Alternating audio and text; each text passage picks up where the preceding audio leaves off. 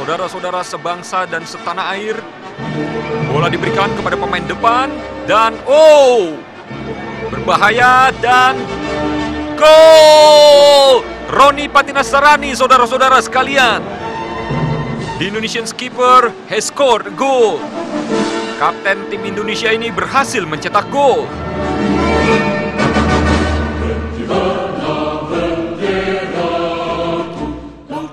Hal itu yang sedang terbayang di benaknya tentang memori indah masa-masa kemasan sang legenda Roni Patinasarani.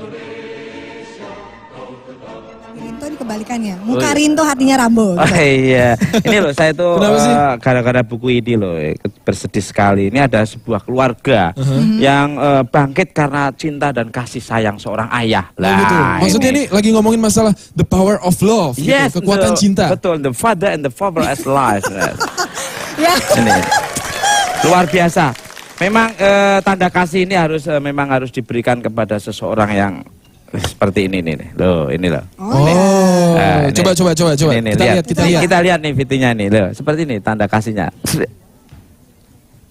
Eh, ini lihat ya. Seorang legenda hidup dalam persepak bola nasional, Roni Patinasarani, tidak pernah menduga bila dua putra terkasihnya, Benny dan Yeri, terjebak dalam pelukan narkoba.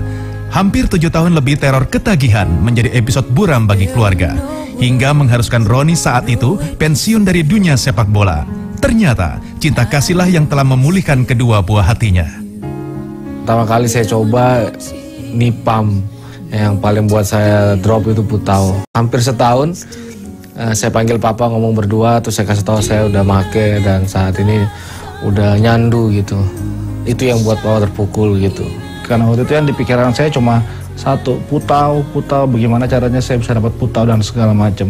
Papa punya piala-piala SEA Games, PON, semua medali-medali emasnya itu semua saya jual semua. Bahkan cincin kawin mereka juga sempat saya sama Yeri sempat kita jual juga. Habis waktu itu habis benar-benar. Anak-anak kita deketin terus dan tidak pernah Roni tidak pernah marah. Kelihatan banget papa selalu berusaha banget untuk tetap deket jadi temannya mereka tuh bener-bener uh, itu tuh buat aku tuh yang bangga banget gitu ngeliatnya wah nih papa nih oke banget gitu. Pernah satu kali papa saya datang di sekolah, masuk berdua sama saya di pintu gerbang. Begitu masuk dari dari pintu depan, satu sekolah teriak maling, maling.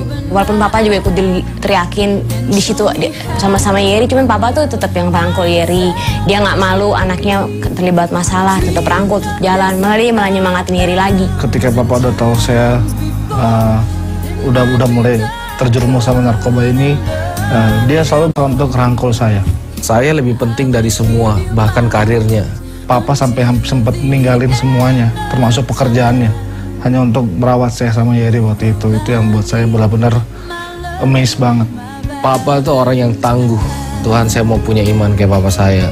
Di saat saya udah nggak bisa apa-apa lagi, ada satu kata yang Papa pernah bilang bahwa dia Papa bilang, Beng, apa pun yang terjadi, Abeng tetap anaknya Papa. Berusaha habis-habisan supaya saya sama Yeri bisa sembuh.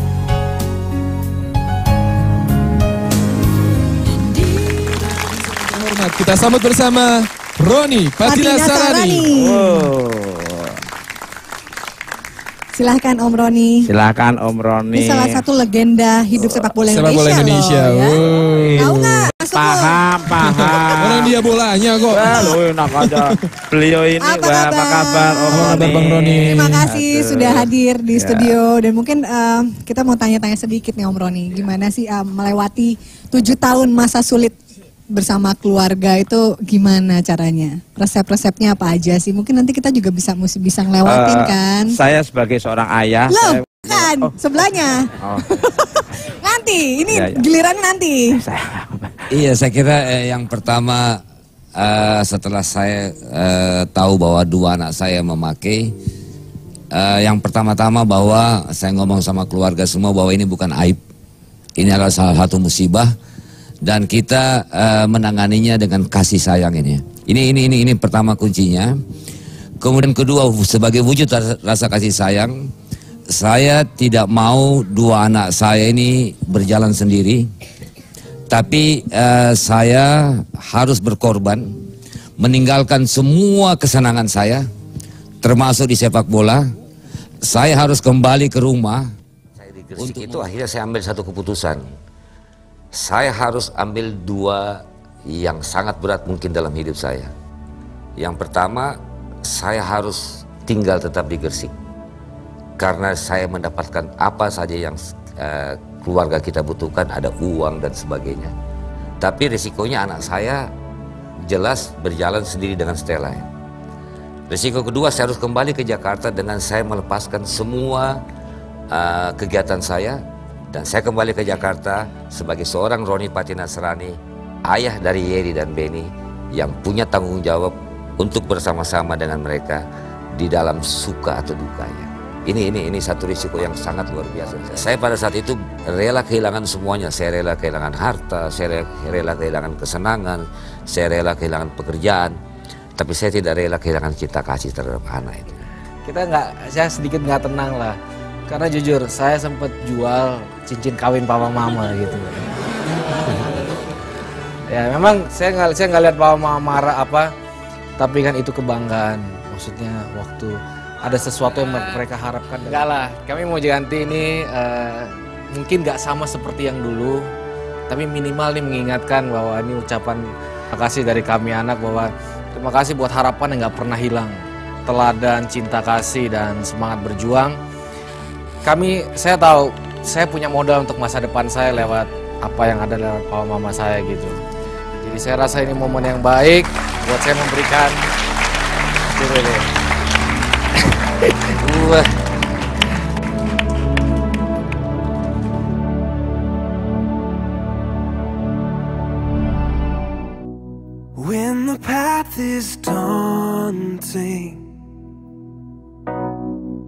and every step exhausting, I'm not alone. I'm not alone. No no. I feel you draw me closer. All these burdens on my shoulder.